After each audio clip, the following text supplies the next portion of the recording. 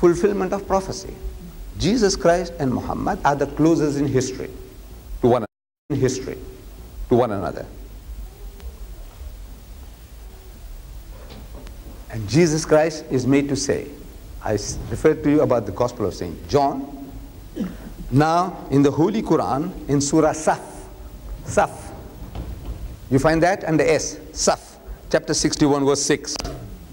Hazrat Isa alayhi salam, Jesus Christ is made to say, وَإِذْ قَالَ عِيسَى ابْنُ مَرْيَمَ Behold, Jesus, the son of Mary, said, Ya Bani Israel, O children of Israel, Inni Rasulullah ilaykum. Most certainly, I am the messenger of God sent to you all, you Jews. Rasulullah ilaykum musaddiqan lima bayna yadayya min at-Tawrati, confirming the revelation which came before me in the Torah. ومبشرا برسول يأتي من بعد اسمه أحمد and giving glad tidings of a messenger to come after me whose name shall be Ahmad which is another name for Muhammad he prophesied about the coming of our holy prophet Muhammad sallallahu alaihi wasallam and this prophecy is still there in the Christian Bible it is still there despite the fact that his words are not preserved as a whole despite the fact only 10% of the New Testament are the words of Jesus according to what they have, what they say, what they claim. 90% is nothing to do with, no, is not the words of Jesus. 90%. Still, this prophecy is still there.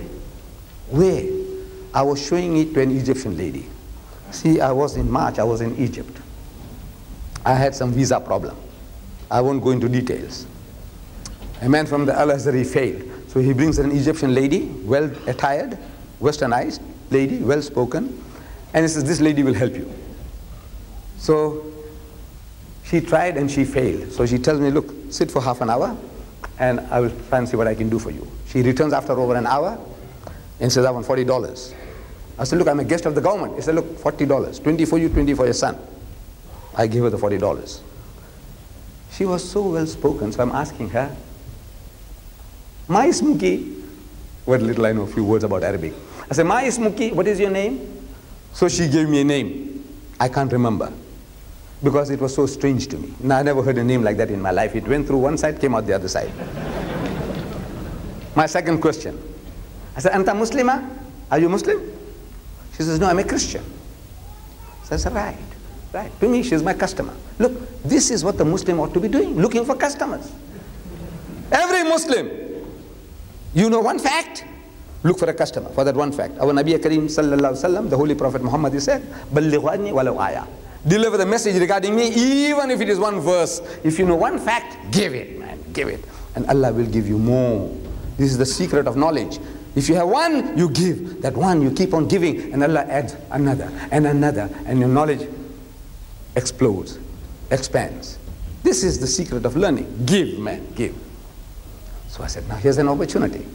I said, you know, knowing now she's a Christian and she's an Egyptian, so I said, you know Jesus, before he parted, he said, لكني أقول لكم الحق إنه خير لكم إن أنتلك لأله إن لم أنتلك لا يأتيكم المؤذي ولكن إن ذهبت أرسله إليكم I didn't translate it for her because she understood what I said. For your benefit, what I said was, I quoted her from the Gospel of St. John chapter 16 verse 7, where it says, Nevertheless I tell you the truth. it is expedient for you that I go away. For if I go not away, the Comforter will not come unto you. But if I go, I will send him. That's what I quoted her in Arabic. So I'm asking her, who is this Muazzi? La yatikumul Muazzi. So she says, I don't know. So I'm telling her, I said, you see, in the Quran we are told that Jesus said to his disciples, وَمُبَشِّرًا بِرَسُولٍ يَأْتِي مِنْ بَعْدِ اسْمُهُ Ahmad and giving glad tidings of a messenger to come after me whose name shall be Ahmad which is another name for Muhammad and Muhammad is Muazzi. She says, very funny. He says, you know these Egyptians, meaning the Muslim Egyptians, did they take us to the cinema? Did they take us to the dance? But nobody tells us about Muazzi. She gave me a sledgehammer to beat the Muslims with. Look, she says, these Egyptians, means your Muslim brothers, they take us to the cinema, this Christian woman, you take them to the cinema, you take them to the dance. And you know, from there where you go. But nobody tells us about Muazzi. So now as soon as I get into the city, I meet this elite, elite Egyptian brothers of ours. And I'm telling them, I said, look, I met an Egyptian woman just now. Meticulous person, very well educated. And this is what she tells me, that you take them to the cinema, you take them to the dance, but you don't tell them anything about Muazzi. Is it true? And they say, yes. Our brother say, yes. Ask another girl. I said, is it true? He said, yes. Everyone you ask, is it true? What she says? He said, yes. So what's wrong with you? 1,400 years you are there. The Muslim in Egypt is ruling, he's the master. For a few years the British were there. They were masters. For a few years the French were there. But overall for 1400 years the Muslim is master of Egypt. Overall. 1400 years. And in 1400 years you haven't not made even a scratch on the Christian community. I want to know why. Even now, are you prepared to talk to them? No. Utterly helpless. 40 million Muslims in Egypt, they're utterly helpless, speechless. They can't talk to the Christians. They can't. I want to know why. I'm asking them. I say, you? You Muslims? I said, you read the Quran? In your own mother tongue? He said, yes. I said, you understand what you read? He said, yes. I said, look, my people, you, whether pa Pakistani, Bangladeshi, Hindi, my people, the non-Arab, all my people. I said, you see, my people, they read the Quran, but they don't understand what they read. But you, you understand what you are reading. He said, yes. So I said, Allah is telling you. He's telling us all, but because we don't understand, for us it's a water on duck's back. But as is telling you, you Egyptians, Ya Ahlal Kitab, O people of the book, La taghlu fi dinikum, so, O people of the book, meaning O Jews and Christians, La taghlu fi dinikum, say do not go to extremes in your religion. Taqulu ala Allah illa al-haq. And don't say anything about Allah except the truth. Innamal Masih, most certainly the Messiah, translated Christ. Innamal Masih, Isa ibn Maryama, Jesus the son of Mary, Rasulullah is a messenger of Allah, wa kalimatuhu, and a word proceeding from him, alqaha ila Maryam wa ruhum minhum, which he bestowed upon Mary, and a spirit proceeding from him. Fa'aminu billahi wa rusulihi, so believe in Allah and his messenger, Jesus. Did you tell them that? He says no. The Egyptians are telling me no. I said, Allah tells you. Said, tell them. Wala takulu salasa. Don't say Trinity. Intahu khairul lakum. This is stop it. It'll be better for you. Allahu ilahun wahid. For your Allah is one Allah. He's not three in one. He's not one in three. I said, did you tell them that? He said, no. I said, Allah tells you in the Quran. لقد كفر الذين قالوا إن الله هو المسيح ابن مريم anyone who says that Jesus Christ the son of Mary is God is making kufr it's an act of blasphemy it's treason against God وقال المسيح but Christ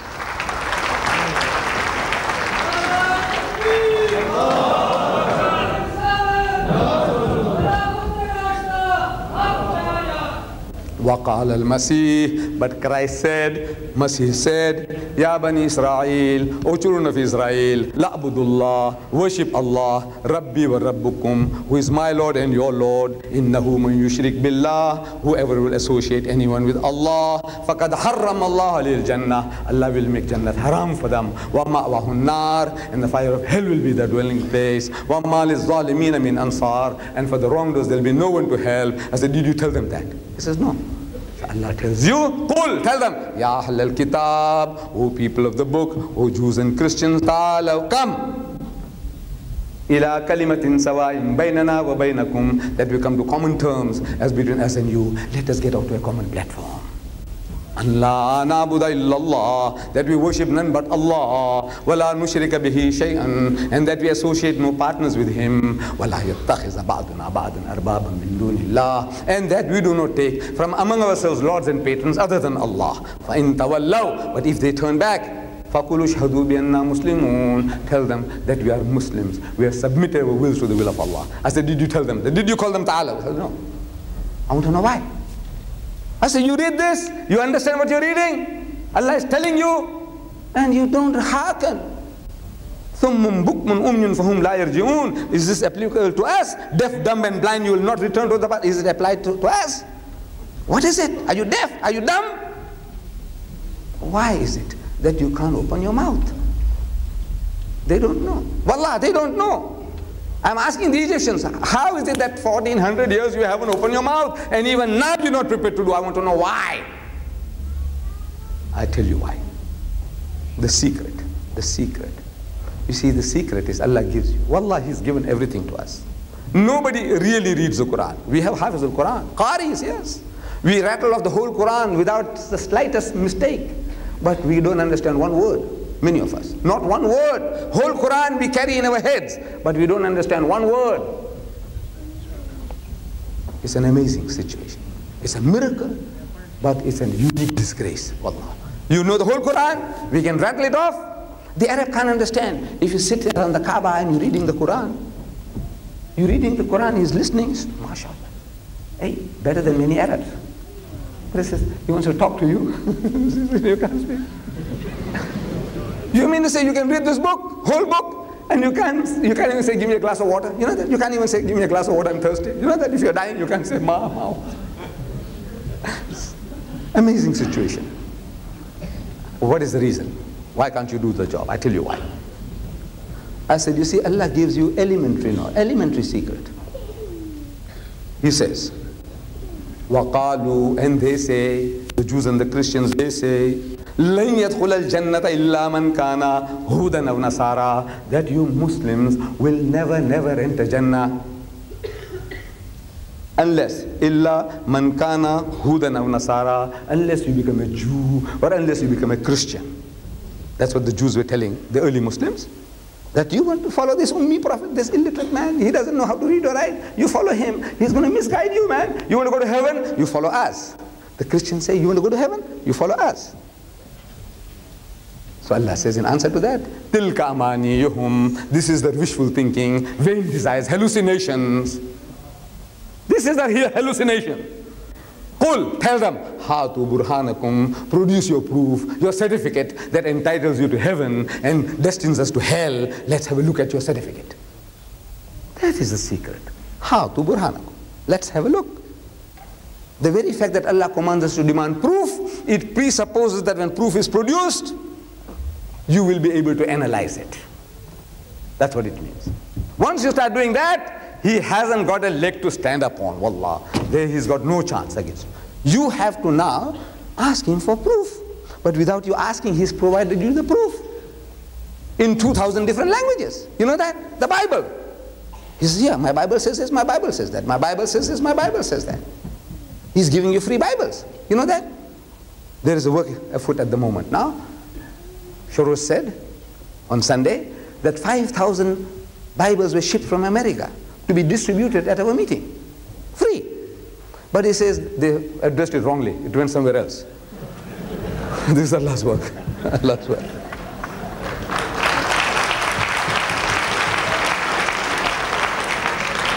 But still they'll reach you. Sooner or later they'll reach you. See, look, they're persistent. They have that persevering quality which we haven't got. They will persevere and they see that you get it. You were supposed to ask them for proof. Without you asking, they say, look, my Bible says this, my Bible says that. Now you're going to swallow that? No. What you do?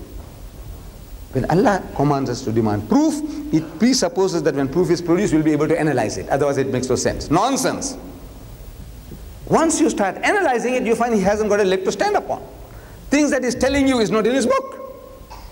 Whatever he's trying to teach you is not there. What you do? Get these little books. When you get the Bible, you need this book. As an instruction book, what to do with the Bible. Is the Bible God's word? Get it from the Islamic Propagation Center in Birmingham or start one here in Bradford. We will help you inshallah.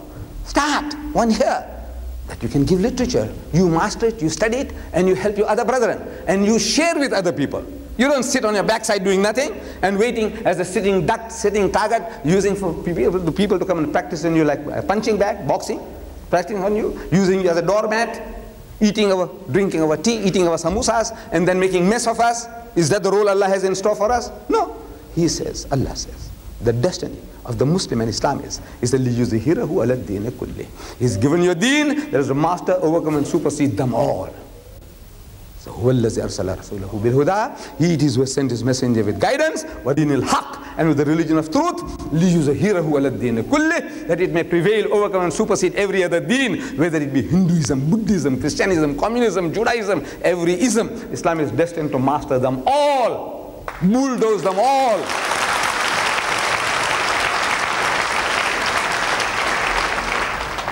bulldoze them all. You know bulldozer? You know how it works? I get fascinated when I see it moving mountains. That's you. Bulldoze them all. Say, wakafa billahi shahida. And enough is Allah as a witness to this fact that He's going to make his deen to prevail with you or without you. But you rubbish, he's giving you and me that opportunity to serve his deen. To do a prophet's job and earn a prophet's reward. Will you take it? That's the question. Will you take that, that honor, that privilege? He wants you to do a prophet's job and earn a prophet's reward. Because if you do a prophet's job, Allah will be less to you if you do the manager's job and he pay you a sweeper's reward. Allah is not like that. Do a prophet's job, you get a prophet's reward. And that's your destiny. Bulldoze them all. Not with the gun, not with the grenade. If you had it, even if you had the laser gun, Allah forbids you using it. He says, he says there is no compulsion in religion. La ikrah. There is no compulsion in religion. Even if you had it, you can't use it. Because force means nothing. It's worthless. We have a few Christian brothers among us, few non-Muslim among us, and listen, I will get you. Come on. Hmm? Say the kalima, the shahada, the creed of Islam. So what's that? Say La ilaha illallah Muhammad Rasulullah. Otherwise we kill you. So the poor man says La ilaha illallah Muhammad Rasulullah. I'm asking you, what is it worth? Worthless, rubbish. Allah says, no, you can't do that. It must be willful acceptance, cooperation, willingness, getting together, fellowship of faith, get together. And this is the destiny of the Muslim, to do the job. And the way to do the job, you have to master his weapons, the weapon he's carrying. His book, you must know his book. Once you know his book, he is child's play in front of you. So with these words of my dear brethren, I want you to take this challenge up.